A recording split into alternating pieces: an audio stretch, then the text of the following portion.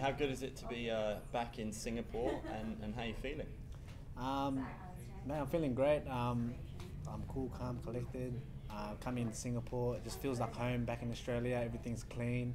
Um, food is right. Water's even better. Um, it feels like home, and this is special as well, because this is where I made my debut. So Extra, sp- yeah. And uh, is it funny for you going to defend your belt against a guy who you've already beaten before? Does that does that add to the calmness? Um, not necessarily. I, I'm sure that that victory. I mean, we've both moved on from it, um, and we've both evolved into two different fighters now. So um, it's just like another opponent. I'm, I'm, I'm looking at Christian now as a new opponent, new evolved, new form, um, and it's just going to be uh, another fight, another day in office. It's interesting that you say you both moved on from it, but I'm not sure. It might be easier for you to move on than, than him because you won.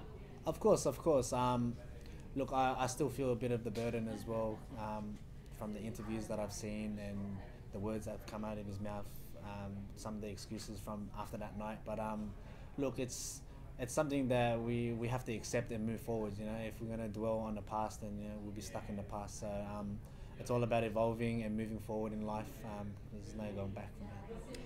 So I had a very interesting interview with Chatri a few days ago. He said he loves both of you and he almost doesn't want to watch it because he can't pick a winner. But one thing that interested me a lot was he said uh, it's no secret that Christian doesn't have the best chin in the world. Now, I, I wasn't aware of that. Um, I've only seen him be knocked down by you, I think. So uh, what do you make of that? Um, look, I couldn't agree more with him, but um, it's, it's something that we've been working on. Um, I'm sure he, he's reformed his whole take of um, tucking it in a bit more.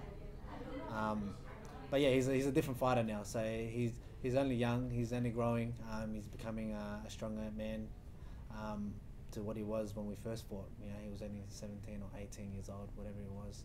Um, I couldn't imagine what I was like at uh, 17 or 18. You know, um, but yeah, I'm, I'm sure he'll come a different fighter, a different fighter. But um, in terms of his chin, um, we're well very, very of that. So You think that's the weakness? I don't think that's the weakness. Um, I think um, getting him to panic and then lose his stamina. His stamina is the main thing that we wanna we wanna expose. But um, his chin's always there. But I don't think that's his weakness. What a year it's been for you, man. You, you almost got three belts. It was a pretty tight decision against Bibiano. Um, he reckons that the promotion wanted you to win that. Uh, could say that it would be nice to have more history created, three belts. What do, what do you think about that? Is that Bibiano said that? Yeah. Or? Yeah. Um. Look, I kind of I kind of seen where he was coming from when he said that because there was a lot more promotion coming from my side, um, and promoting the fight in general was more coming a lot from my side. There was a lot of interviews and you know, video recordings and a lot of a lot of work coming from my side than his. So the way they marketed the the whole fight, I I kind of got the feeling that they probably wanted me to win, in which I had the confidence. I knew that I was going to win. So. Um, it was it was it was very hard when when he speaks about that. Look, I kind of get where he's coming from, but being on the other side of the world and performing in Asia, it's, it's I don't know, I, I think it's kind of hard for him to do a bit of promotion as well. Um, but yeah, it's in it's in the past now. So he, he came out victorious, and you know we, we lived another day. Another different weight class, and now you're fighting featherweight. Where do you see your future? Where are you at your strongest? Um, going off my last fight, um, knowing that I can make the weight with ease, and how I felt against a 15 year veteran, five time BJJ world champion, um, who has been dominating for the last 10 years. Um, how I went against him, um, I see myself finishing my career in the bantamweight division, and I see myself winning that bantamweight title. Interesting. And, uh, do you reckon you've got the love you deserve for winning two belts for what you've already achieved this year, not just in Asia but around the world? Look, I don't, I don't do this for fame. Um, it- a lot of people have shown a lot of love. Um, I get a lot of support. I'm now defending. Um, I will be defending both titles. I'm defending my first title now. Um, unlike some who's won the title and hasn't defended, you know. So um, I will be defending both titles. I will be defending um, my my legacy is how I see it, and it's my destiny. So um, it's every MMA fighter's dream to win a world title, let alone two. I've done both of them, um, and now it's all about defending my t- legacy. Uh, were you alluding to like a certain Irish fighter there? Um, You said it, not me. well, it's interesting because uh, this promotion prides itself on, on being very much about Asian values and about being humble and integrity, and they don't. They've been very vocal about not wanting to, to be as brash and, and about trash talking. Now, are you proud that they're going that way? Or? Oh, 100%. It's the true values of martial arts. You know, we don't need. Look, if, if people want to tune in and watch a, an event, they'll do it regardless of trash talking or whatever. I think just the trash talking it sells it a bit more, but how One Championship has approached this whole um, martial arts thing and um, exemplifying the, the true values of martial arts. It's, it's, it's a true honor honorable way of doing it. You know, um, we don't do this to be thugs. You know, we don't do this to um, basically bully our opponents before the before the fight. You know, um, it's all about training and becoming real martial artists, learning the discipline um, of each uh, martial arts, and you know, showing it, you know, as warriors. I think you speak a lot of sense and a lot of wisdom there, but I think the difficulty is it's still a violent sport, right? Oh, look, don't, don't get me wrong. There's always going to be those one percenters that's never going to accept it, but um, it's, it's until they experience your journey um, and know what you go through and know what you're doing it for.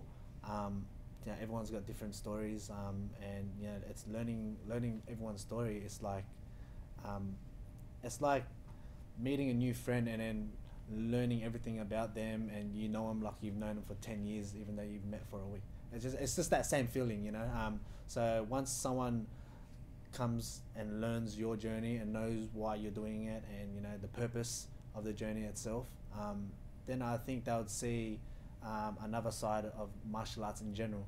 But um, in terms of flicking on the TV and seeing it just straight off the telly, of course everyone's to have an opinion saying it's rational or you know violent. Yeah. This could be the most historic night in one championship history. It, it looks like it's set up to be that. Uh, how proud are you of being part of that? Um, look, it's a, it's an honor. You know, we've we've launched the One Super app. Um, it, it's the official launch was the press conference a couple of days ago, and you know to be part of a big card, um, to be on a card with Shinya Aoki alone, that's that's massive. You know, um, Angela Lee, she's she's the face of the company. There's huge names on his card uh, from the Super Series as well. Um, so it's it's an honor on my side to be a part of it.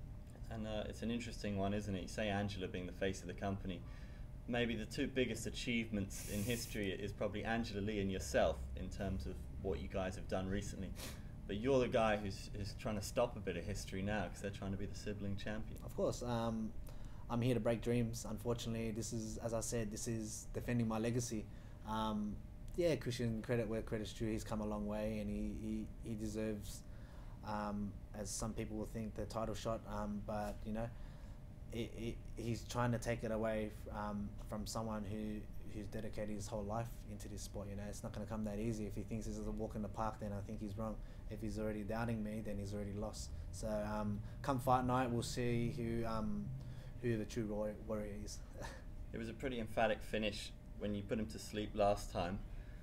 Uh, you know, if he were to get a win this time, do you think you guys could meet again? He's very young in his career. You've still got a way to go. Do you think Look, this could be? I said, I've said it in our um, in our Laos encounter. I mean, the guys, the guy at the time was a young kid. He's going to come back. Um, I know talent when I see talent, and what I see in Christian Lee, he's he's, he's fair enough. Credit was credit's due. He's a talented fighter.